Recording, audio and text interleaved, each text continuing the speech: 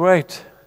So we're on this journey called building strong families, and we are approaching sensitive areas, and you've covered lots of ground. And, if you've missed a lot of this teaching on building strong families, the, the Lord instructed me last year that the next stage of building in the earth will be a family that is mature.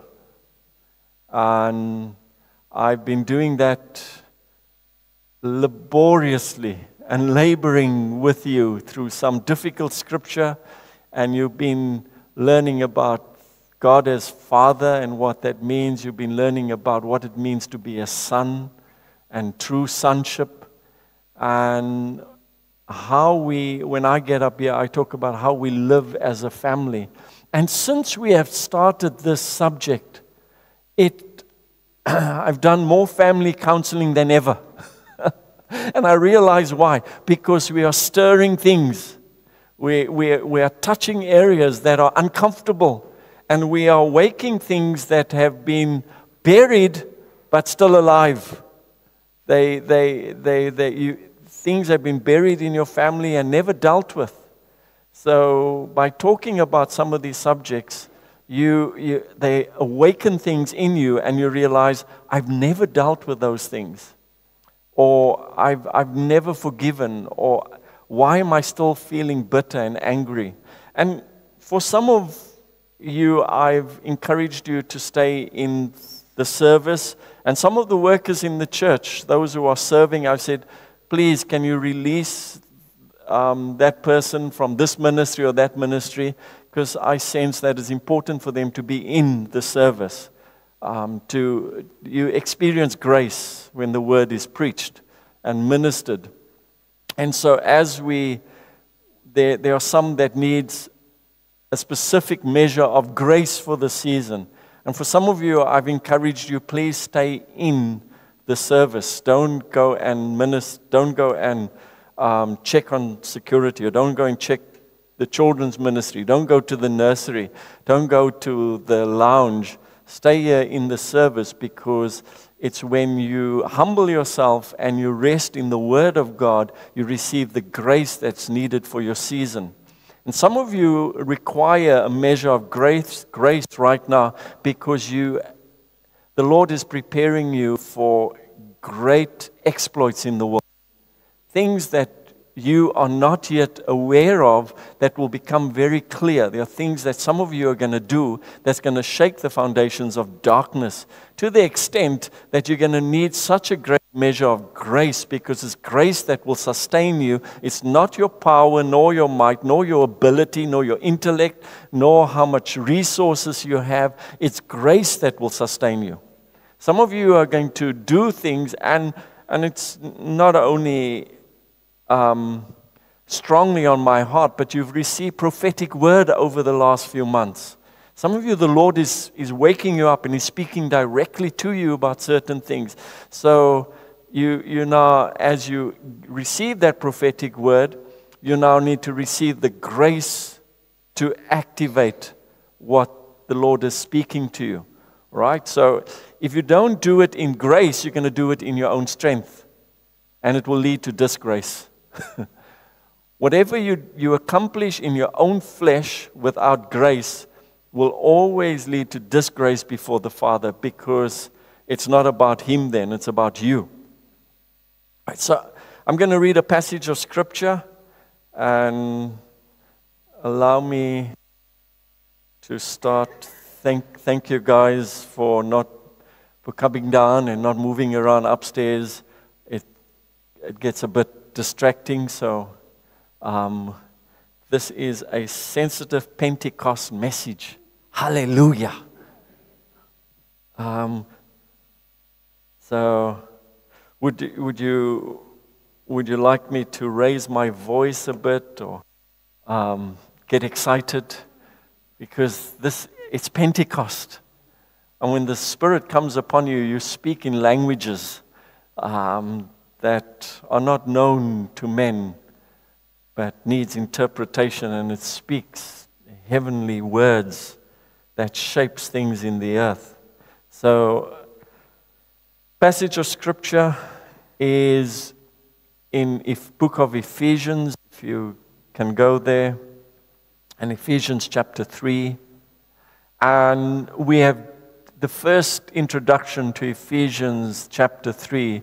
We're talking the mystery that is being concealed is now revealed in Ephesians. And that mystery is you, the church. There was a mystery that was, was concealed to Moses, a mystery that was concealed through the ages, a mystery that David never knew about, a mystery that Isaiah could only allude to in prophetic voicing. But that mystery is now made known, and that mystery is now, the curtain is drawn back in Ephesians, and Ephesians chapter 3 says that mystery is the church. And isn't that exciting? I know some women are thinking my husband's still a mystery. Um, but we are a mystery, a mystery that is now made known to every power and principality. The mystery that was concealed through history is now revealed, and you are that mystery. I, it, I mean, so, and, and we're going to pick up from there because verse 14 says, For this reason, because of the reason of this mystery, I now bow my knees to the Father of our Lord Jesus Christ. And verse 15 says, From whom the whole family in heaven and earth is named. I'm going to read that verse again because that is my key verse. Ephesians 3, verse 15 says, From whom the whole family in heaven and earth is named, that he would grant to you according to the riches of his glory, to be strengthened with might through ye spirit in the, man, in the inner man, that Christ may dwell in your hearts through faith, that you, being rooted and grounded in love, may be able to comprehend with all the saints what is the width and the length and the depth and height to know the love of Christ, which passes knowledge, that you may be filled with all fullness of God. When you know that, you come to the climax of everything. And that climax is now to him who is able to do exceedingly abundantly above all that we ask or think according to the power that works in us. To him be glory in the church by Christ Jesus to all generations forever and ever. Amen. I, you know, you, you, you have to put your name in there to get excited. You, you need to say, Now to him who is able to do a sea exceedingly abundantly above all that Paul asks or that Paul thinks, according to the power that is at work in Paul. To him be glory in the family that Paul belongs to, called the church, by Christ Jesus, and to all Paul's generations forever and ever. Amen. If you put your name in there, you're not going to stay quiet. because it's talking about you, and you are the mystery. If we get this, you're not going to need to cast out another demon. He's going to run when you announce who you are. When you step in, environments are going to shape because you are stepping in by the grace and the glory of God. You know who you are. I know who I am. I am a child of God. Uh, your identity is secure. So when you get, yeah, I just love this, but, but what is it that we are captivated by? It's this idea of family. Verse 15 from whom the whole family in heaven and earth is named. It is, verse 14, it doesn't say from, Paul's not saying the Lord. He's saying our Lord Jesus Christ. You can, you can put it this way I bow my knees to the Father of my Lord. it, it is your Lord. You see, you get all the stuff, and, and you get to walk in that grace and that family because He's yours. It's my Lord. Tell somebody, my Lord. When He's my Lord, He becomes our Lord. And He is the Lord Jesus Christ, from whom the whole family. So, some people get confused because they think the whole family is all of mankind. The word there, whole, is, if you look at the Greek word, it means whomsoever. It means that whomsoever, it's a word that you need to be selective. It does not mean an umbrella covering to everyone. It means that you need to choose to be the whomsoever. It's not everyone or every person. It means whomsoever. And the whomsoever are the ones who choose to be family. We, there, there are religious groups and religious persuasions that believe that we are all children of God, but we're not all family of God. The family are the whomsoever who has chosen the Lord Jesus Christ, who can say, He is mine, He is ours. And that's the family.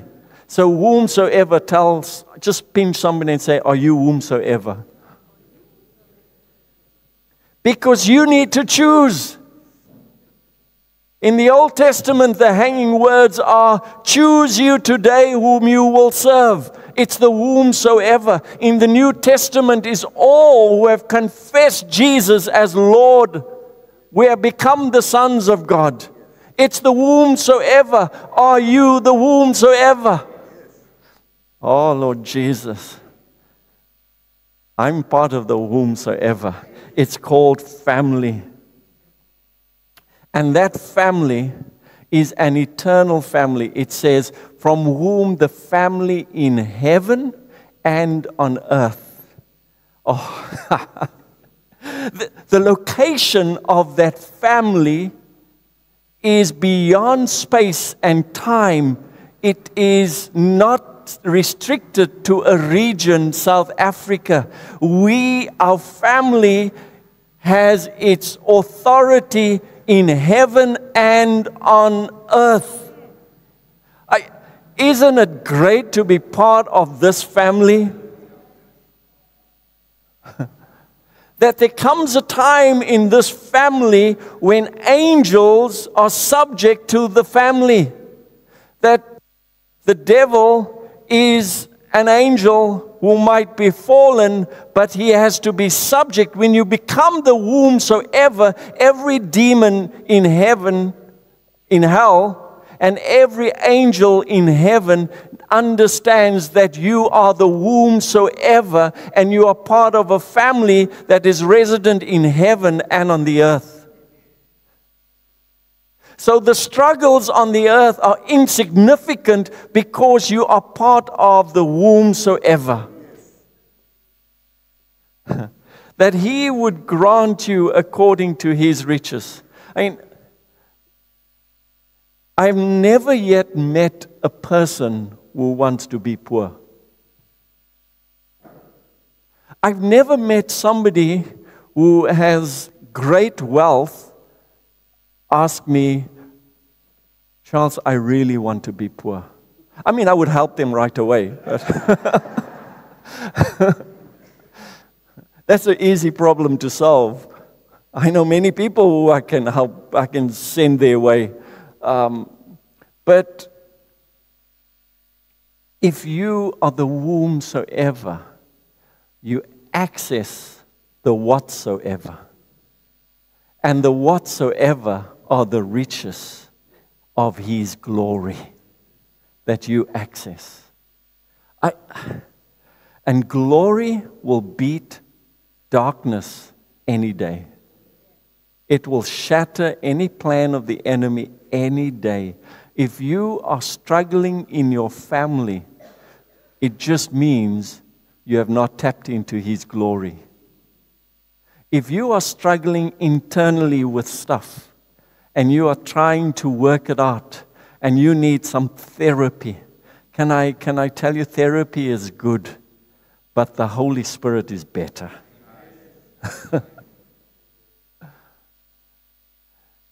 if you allow the Holy Spirit to who was poured out on Pentecost to dwell in you.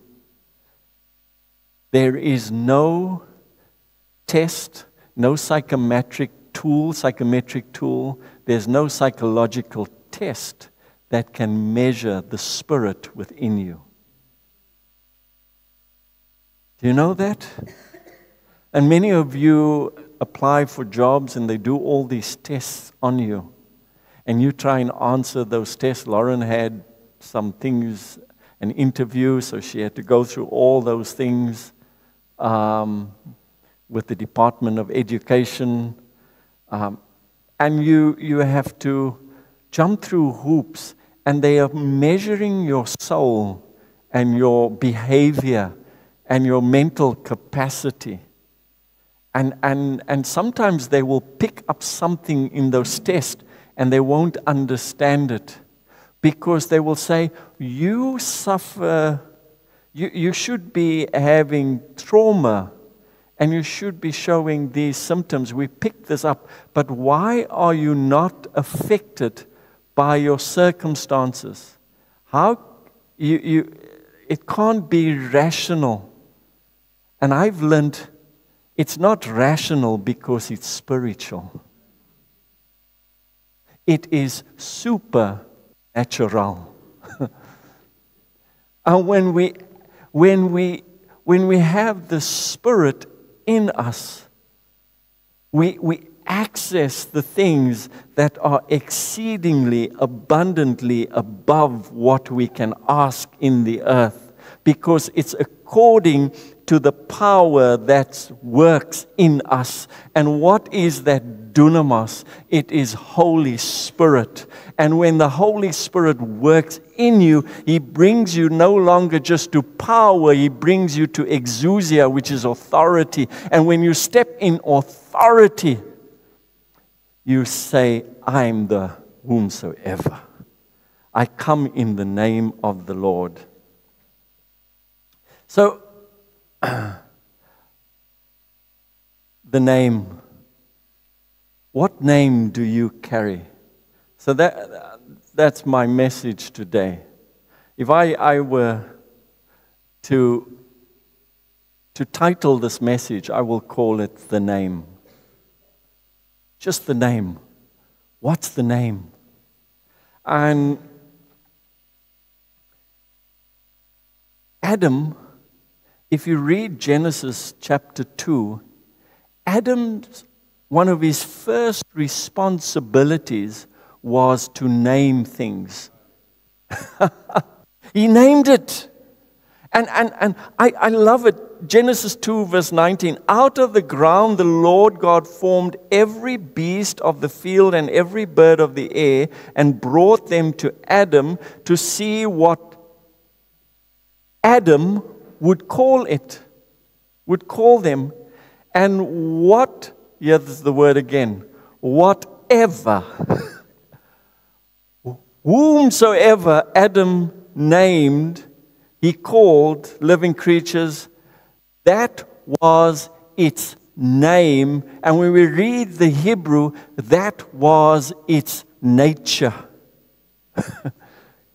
so Adam's ability was to name things in the earth, and he shaped the nature through his ability to name. That ability to name is still vested in you as Adam. You still have the capacity to name things. So you wonder why your teenager is misbehaving. Because under your breath, you are naming them something else. when they misbehave, and nobody understands that language. but you are so angry and you are naming them, and you wonder why that nature becomes rebellious because they are not being prepared. But when you call them by a name, you can shape the nature.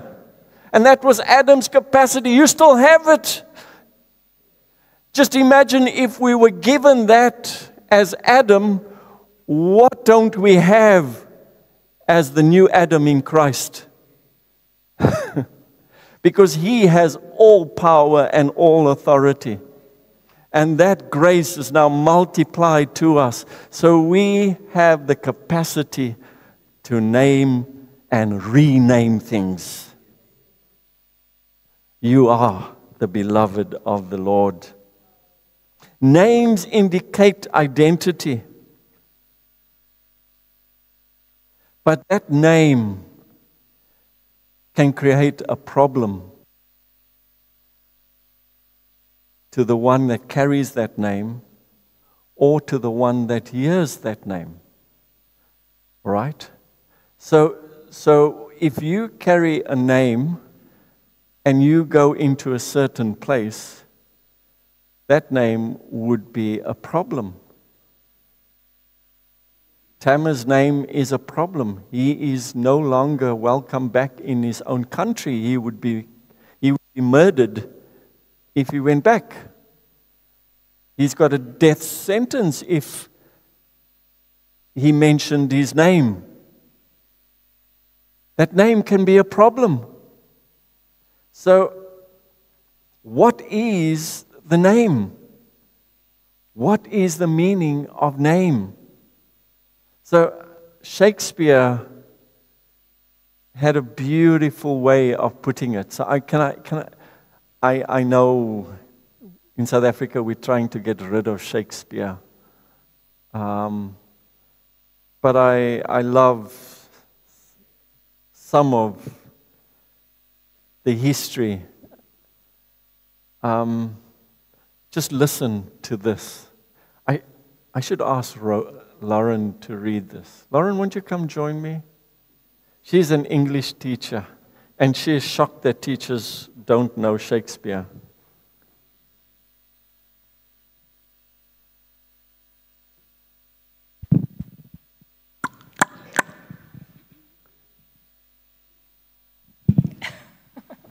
You can read that part, and I will read this part.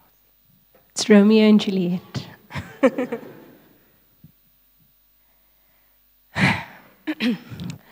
oh, Romeo, Romeo, wherefore art thou, Romeo?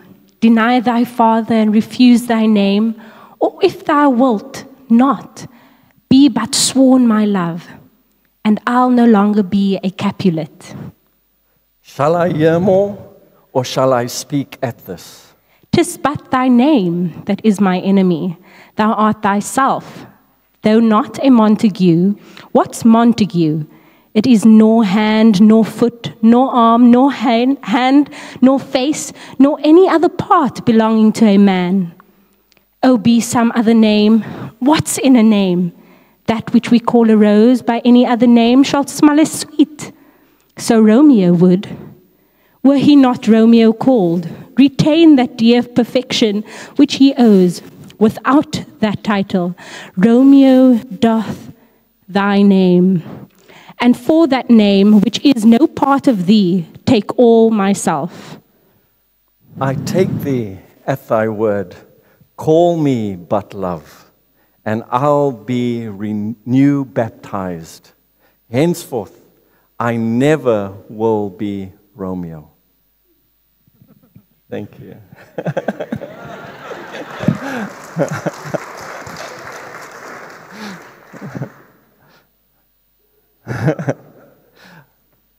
you go, Juliet. what's, what's the story? I know some of you are like, you, you, you, you, you gripping your seat now because you're getting that matric fear, that exam fear, like, oh Lord, help me. All right. These were our set work pieces. We had to study them, and we never did. We never did Romeo and Juliet at school. All right, but I just loved the romance. And for those of you who don't know what's going on here, Romeo and Juliet is the epic love story written by Shakespeare. And we, I'm going to mess it up if you never watch Shakespeare and you never watch Romeo and Juliet. They, it's not American, all right? Because they both die. right? They don't live happily ever after they, they, they both die, and it ends where the whole story is about two families that are, they hate each other, and they, they, they do not agree. They, they're fighting, they're, there's vicious fighting between the two families, and the two, the Juliet and Romeo, fall in love from the two different families. And they need to, they cannot help themselves. And they cannot live apart anymore. But the families will, the Montagues are, are pr- prideful, they protect it, and they will not allow themselves to, to date or marry anyone and Juliet is from the enemy. And it gets to a point where Juliet is forced to marry someone else. But before the wedding, she takes a potion, a poison, that would put her in a state of death for a period, and she would wake up. You know the story, right? Why are you looking at me like you don't know the story? this is a church, it's not a, a movie. and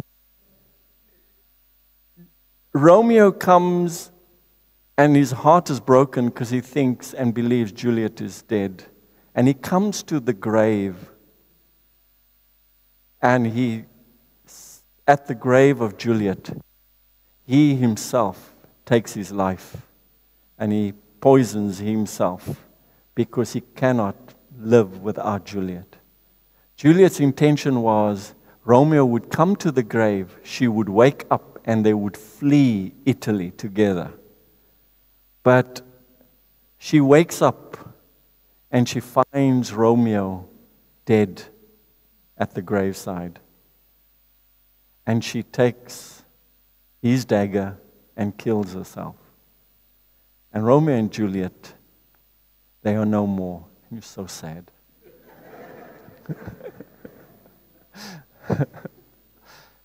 that is Shakespeare, very deep writing. But in the essence of his writing is tremendous wisdom. Literary wisdom that he captures. And it, and it, it touches on every part of humanity because it's how we fight wars and how we disagree and, and how we name things and how those names become our identity. And we defend that identity to the death and we will protect it. And here, the names, Juliet is asking Romeo, forsake thy name, Montague. What is in a name? What is a name? A rose by any other name is still as sweet she says, because Romeo says, I will, I will be baptized something else. And she says, but even if you change your name, you are still Romeo. And he says, I will, I will change, I will do anything for you, Juliet. And isn't that what we do? Isn't that what happens in our city every day?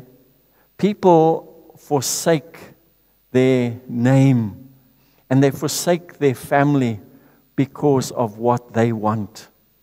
And, and, and we have religious groups who refuse for you to be married unless you change your name. In our city, in our country. And, and you can change your name, but you're still Romeo. And there are many who have changed their names, but their identity has not yet changed. They have said, I am a Christ follower, but they have not changed. And this message, which I will continue, and, and we're going to dig into how names shape and change. And we're going to go very deep into this subject. I'm, I'm just laying a foundation today. It's not even a foundation, it's the first little bit of ground leveling because we're going to build on this. That the name God gives you is a love story. He loves you. And the name He calls you. You're going to hear the name that God calls you over these next few weeks. You're going to hear the word of the Lord calling you. And it's not going to be Patrick. It's not going to be Christine. It's not going to be Mama Sylvia. You're going to hear a name that God will call you. And when you hear that name, you will be prompted to respond. And that response is going to make you part of the womb so ever. You're going to be counted in, you're going to be numbered amongst them. And Romeo and Juliet is a sad story. And throughout history, we have, we have kept that statement that Shakespeare penned What's in a name? That which we call a rose by any other name would smell as sweet. And I want to say to you, what's in a name. And I'm going to tell you everything. Because as Adam named things, you will see how God names you. And in that name is life forevermore. The significance of names when you name things you start to call not only identity, you call purpose. You, you, you start to identify who that is or what that is. And, and I, I don't know about you, but I grew up in a time where everything had a nickname. You know, you have your real name and then you have a nickname. I know what some of you are thinking. I know. I don't hope he knows my nickname. I really don't hope he knows my nickname because you know me. I will mention that nickname from here. Um, I'm, I'm, just, I'm just silly that way. I mean, I don't think. But today I'm going to think. Um, and, but some of you have a nickname that they, were, they called you when you were younger. And your family called you, or your uncles called you, your aunts, or your friends, um, if you are brave enough, tell somebody your nickname.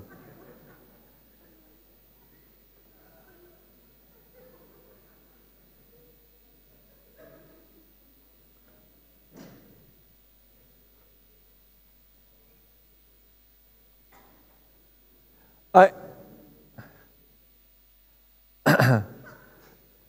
I know some of you said, can't remember. Yeah, that's your nickname.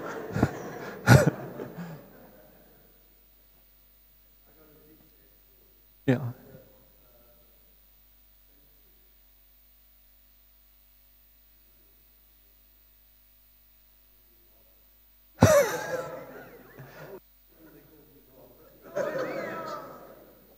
Sorry, Uncle. I mean, Uncle Matthew.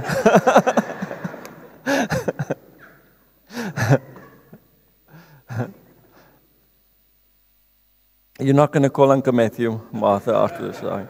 We, we, we bind you. oh. But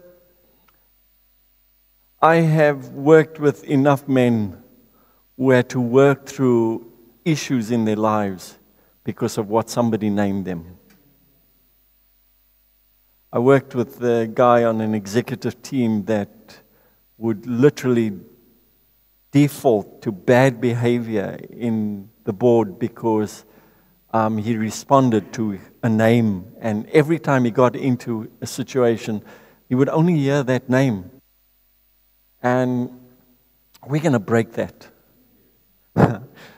when you hear the name God calls you, it doesn't matter what anyone else calls you. It doesn't matter what your husband calls you because you know what name he calls you. It doesn't matter what name the teacher calls you because you know what name he calls you. It doesn't matter what name anyone calls you, you know what God calls you. And when you know that, and some of you are going to hear it so clearly, you're going to run because of that name that's on you.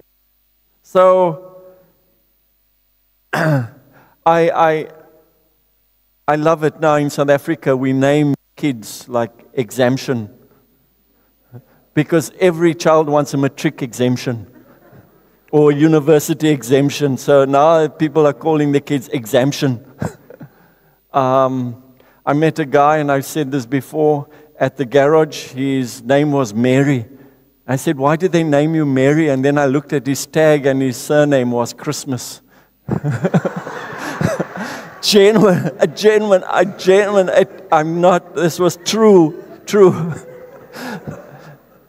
true, true, true. I, I thought it was, I thought, and eventually when I saw the look in his face, I realized, okay, it wasn't a joke. It actually is his name. All right. They should have named him like some of you. Brilliant.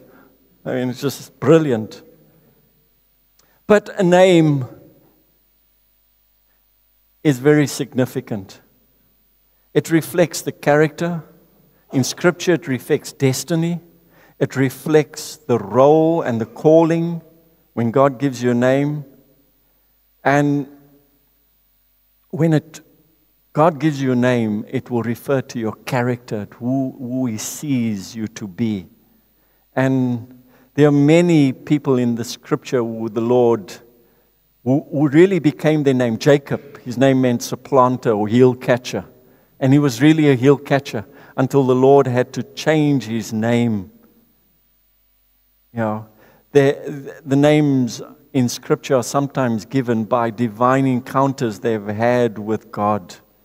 And, and if you think of Abram, God changed his name to Abraham.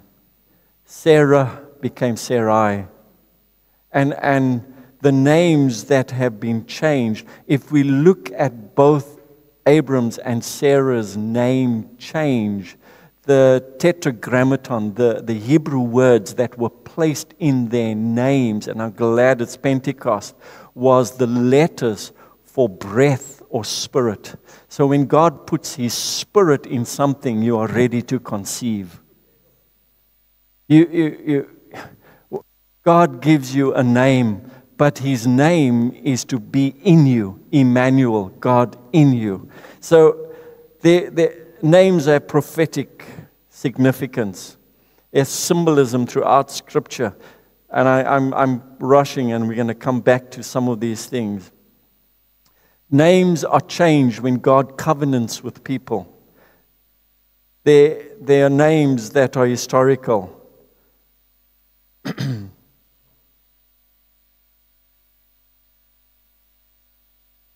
But I'm going to close and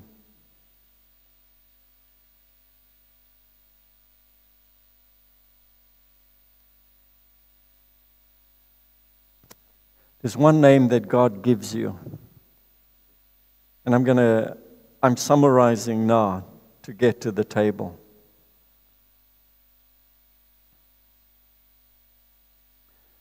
that is repeated throughout Scripture. If you read Scripture from Genesis, God calls Adam.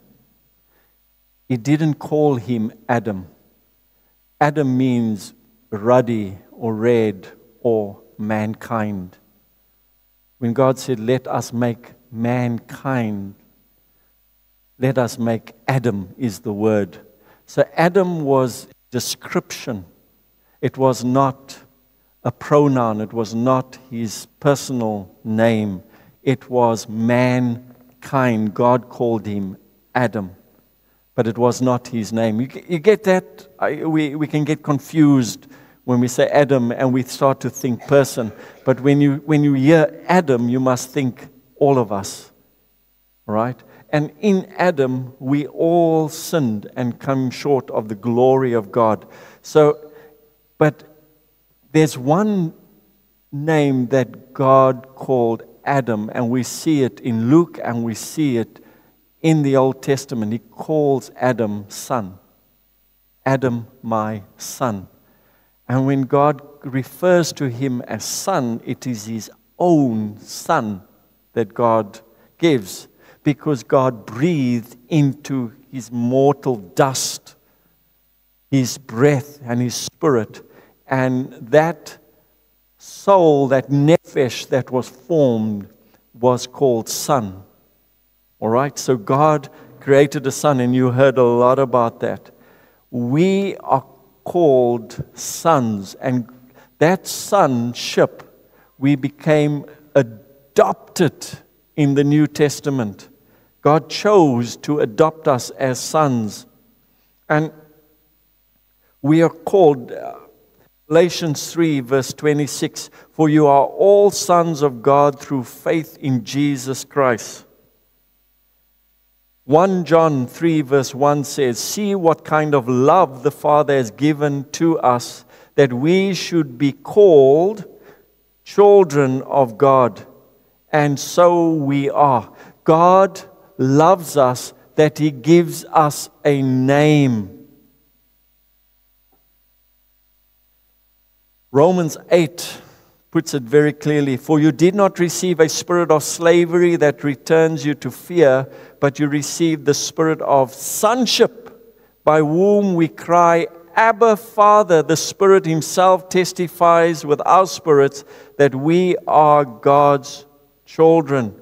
You are God's son. Tell somebody, son. So, what stops you from walking in that identity and that name, son? So, you have a name, son. And what stops you from that identity of sonship is your own fear. What stops you are the lies that you believe that you've been told, the nicknames that you've been called, and you start to believe the things and the lies that you have been told or believed, that's the untruths that shape you, and that's what stops you from responding to that name son and walking into the authority and the grace and the glory of God as son. Why do we have Christians who carry the name Christian who are not sons? Because it's a religious affair. They, they, they did some prayer and they joined some religious group, but they never ever saw themselves as a son of God. When you start to see that God the Father is Father, He is Abba, He is Pater, He is my Father. It, I want to tell you, you, you know what I do every day? Some days when I walk to church, the other day I, uh, I walked and I walked pretty slowly um, nothing to do with age, but I just wanted to, to enjoy the time of walking here early in the morning. The sun was out. And I kept telling myself, God is your Father. I'm a son of God. I'm your, and I was just saying, Lord, thank you that you are my Father. Thank you that you are my Father. Thank you that I am your son. No other prayer. I didn't pray for you that morning. I, just, I was conditioning my brain to start to catch up with where my spirit has been. That when I walk into situations of tension, I'm going to respond, God is my Father. When I, when, when, when every day there are multiple decisions that you need to make here, and, and they, they can be very difficult, and, and it, you can go crazy with the number of decisions that need to be made. And I need to condition my brain that every decision must come through my Father because I'm His Son. When somebody phones me and says, Charles, can you do this? I need to think, God is my Father. How do I respond? The King is my Father. The Lord is my Father. I am His Son. He is majesty on high. I am His Son. I am royal. I am a holy priesthood. I am responding from a name that my Father calls me. So let me respond out of that name, not out of the circumstances or out of the condition or somebody's pressure. So I can remain calm because I'm responding from heaven, because my family is seated in heaven and it rules in the earth. Oh Lord Jesus, what stops me from doing that is fear. What stops me from that conditioning are the lies that I need to jump through some hoops and so that I can be a religious bunny, so I can perform certain tasks, so I can say certain prayers to come into a position where now I can get God's favor. I have God's favor because He gives me a name. Not because of what I can do for Him or what I have done to Him. I am His, He is mine. I don't believe the lies. And the games that we then play to protect ourselves. We believe that others are against us. We believe that I need to be careful of this one or that one. I need to be careful. I don't trust everyone. Don't you hear that so often from Christians? Be careful of that one. Be careful of this one. Be careful of, of, of hanging out with that one. Be careful. Be, be, I, I want to say, I am not careful because I know who I am. I know who I am. I'm not living my life fearful of what's in this world. I'm not worried about what's to come or what's going to happen or in the next few days, the election and who's going to rule. I want to say that I know who's on the throne. And there's no government in the earth that can have any jurisdiction over me. Why? Because my family is from heaven. Oh, if you have the passport that's stamped by Jesus Christ, you need no other visa. oh, Lord Jesus. Those games need to stop. We need to believe what the Father calls us, Son. God alone has the power to name us. And, and now I'm going to come to the table because it's about his name we're going to celebrate today. And, and whenever God's about to do something, you see, Adam had the responsibility to name things, right? But he could only name things in the natural.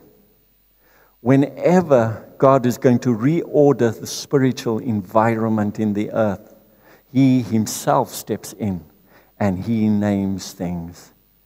Ask Elizabeth and Zechariah when the angel appeared to them. God said, And you will name his name John.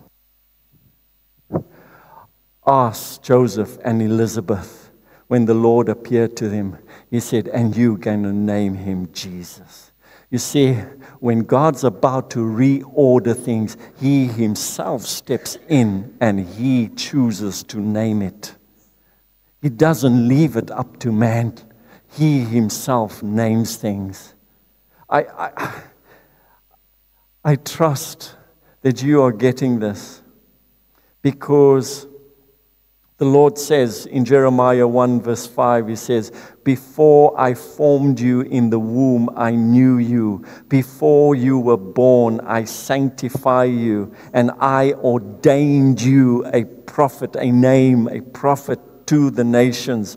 43, verse 1 of the same book says, But now says the Lord who created, O Jacob, and he who formed you, O Israel, fear not. I have redeemed you. I have called you by your name. You are mine. oh, when the Lord calls you, He names you, and you are His. Jesus reminds us in John chapter 10, verse 3 the sheep hear his voice, and he calls his own sheep by name and leads them out. Today, I trust you are hearing your name being called. I trust you are hearing that God is calling your name. Because it's in that name that you will accomplish things. God has a name for you, and that name is so much more than what you have ever imagined. And, and, and some of you, I said, you're going to do things because there's going to be a reordering in your life. But that, those things that you need to accomplish, if they are not bigger than you, it's an indictment to who your father is. I, want to say that again. Some of you are, are so scared to do something because it's too big for you. I want to say if it is too big for you and you're afraid to do it and you will not do it, you would rather do something that is to your ability and your capacity. You embarrass your father. Oh, somebody's not getting that. if your dream is not bigger than you, then it's offending your father. I want to say that again to some of you. Sister Christine, if your dream to see women come to break the shackles of poverty in Africa, if, if, if your dream is not bigger than you, then it's an offense to God. Some of you are so afraid to step into a, a place of discomfort and a place of risk. My, my, my wife challenges me all the time because I'm not afraid of risk. She won't allow me to get on two wheels. Because a taxi on four wheels has got nothing on me. because I am not afraid.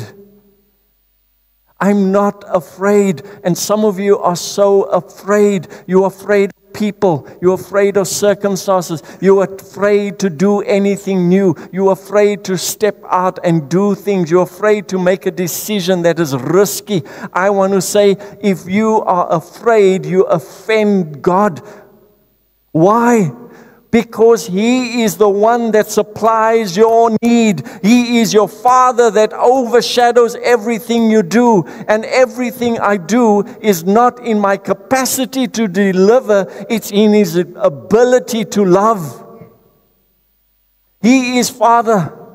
And when I tackle things that are bigger than me, and, and a lot of people say, Charles, you're crazy. I will never be able to do what you do. And I think, Really?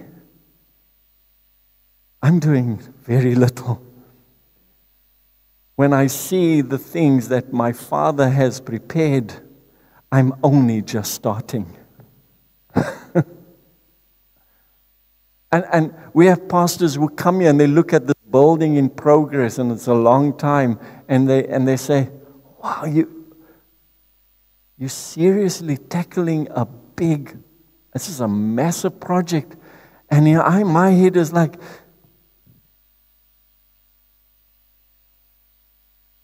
I'll tell you what I'm thinking when they say that.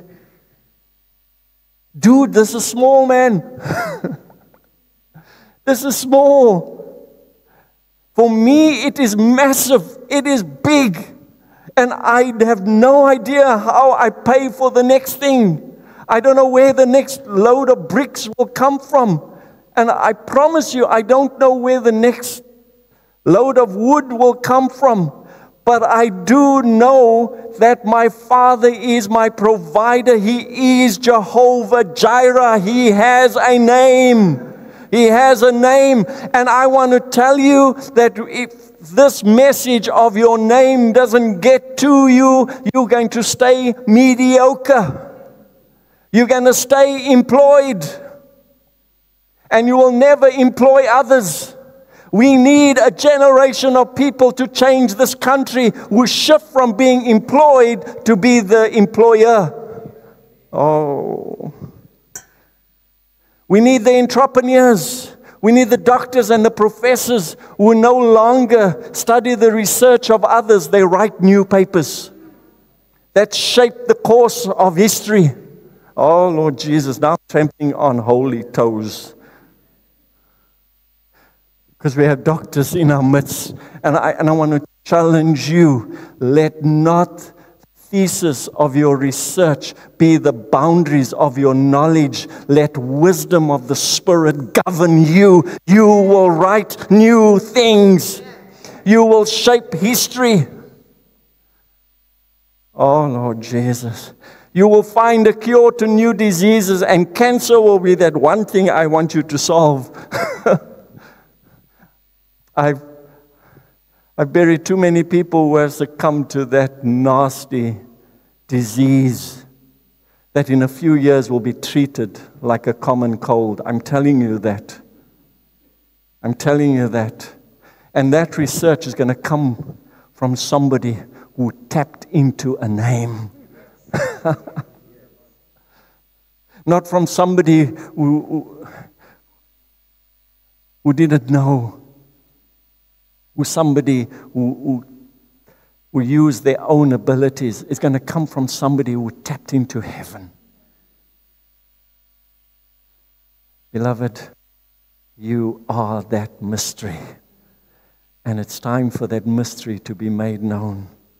It's time for you to stop limiting the name God calls you. Ntobeko, it's time. It is time. Let not the circumstances of your history imprison you. Let the freedom of the Spirit break your shackles. Let it free you and know that God has a name for you. Amen.